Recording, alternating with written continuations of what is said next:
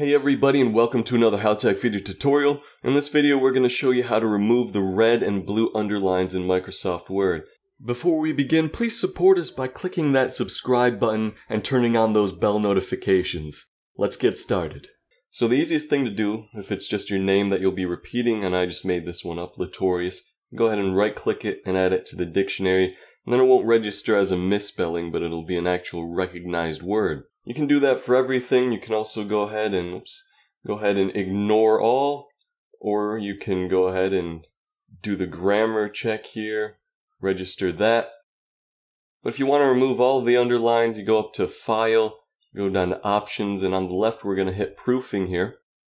And go down and you can uncheck these top two boxes right here and hit OK you'll notice that it removes all the underlines in our document. However, if you send this off to someone, they would still see the underline markings there because this is only for your own personal documents.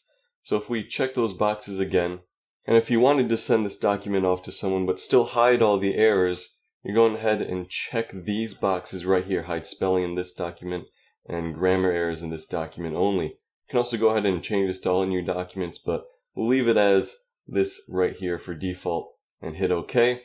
And it will remove all the red and blue underlines. And even if you sent this document off to someone, they still wouldn't see any of those errors. This has been a HowTech video tutorial. Please like, subscribe, comment, and thank you for watching.